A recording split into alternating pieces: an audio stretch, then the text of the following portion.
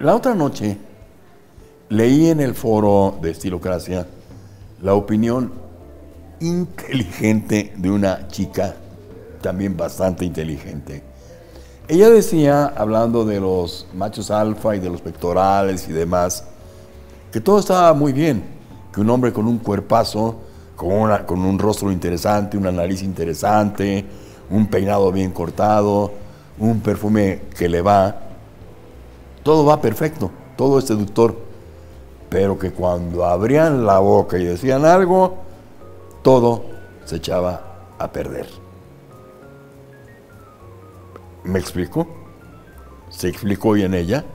Lo que importa, amigos, es tener un buen vocabulario, es saber decir las cosas con toda precisión, es usar las palabras y los términos adecuados, es apartarse de los clichés o lugares comunes, no decir lo que todo el mundo dice, sino decirlo de la manera en que solamente usted lo va a decir. Y eso es lo que lo va a convertir a usted en un verdadero, digamos, seductor. Aunque su intención no sea la de ser un seductor, por lo menos va usted a quedar como un hombre de una personalidad única y de un bagaje cultural que no es el común y corriente de todo mundo. Es un bagaje cultural diferente, más amplio y más refinado. Y eso es algo que las chicas saben apreciar muy bien. El lenguaje es la herramienta más importante de las personas. La aprendemos desde niños, nos permite comunicar nuestras necesidades, gustos, problemas y pensamientos. Además de ser necesaria, entre mejor y más desarrollada sea tu capacidad oral, vas a tener mejores oportunidades en el mundo profesional, social y amoroso. Con un buen uso del lenguaje y un vocabulario amplio, tendrás mayores posibilidades de conseguir un buen empleo o de conquistar a una mujer. Además, un lenguaje amplio demuestra cultura e inteligencia. Por ello, hoy te vamos a dar algunos consejos para mejorar tu vocabulario. Lee mucho. La manera más rápida de aprender un mayor número de palabras es por medio de la lectura.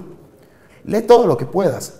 Intenta con diferentes géneros o clasificaciones, desde el científico, los clásicos, la literatura o el internet, o incluso las revistas o los blogs. Siempre habrá palabras nuevas por descubrir.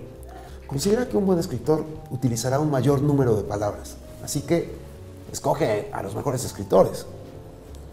Averigua palabras por contexto. Cuando te encuentres con palabras desconocidas, vuelve a releer el parágrafo, ya que el contexto es importante para conocerlas y entenderlas. Si prestas atención, podrás darte una idea sobre lo que significan sin necesidad de buscarlas en un diccionario. Crea tu propio diccionario. Como técnica, anota todas las palabras que son desconocidas para ti en una libreta cuando participes en una plática y estás leyendo.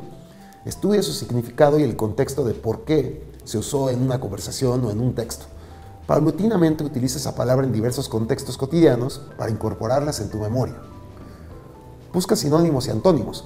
Busca sinónimos y antónimos de palabras que te interesan. Reemplaza tu vocabulario cotidiano por sinónimos y antónimos.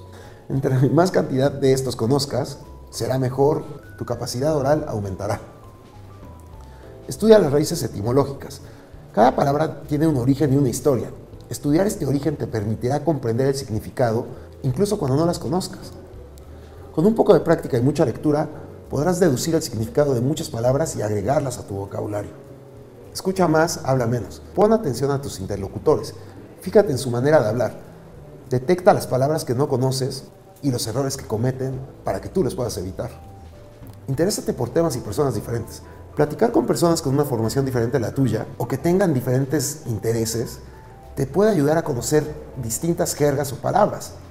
Por ejemplo, hablar con un pintor o con un fotógrafo te permitirá conocer conceptos propios de estos ámbitos que después podrás utilizar o podrás practicar en tus propias conversaciones. Amigos, eso es todo lo que tenemos que decir por hoy, pero les recuerdo que el arte de conversar es muy largo.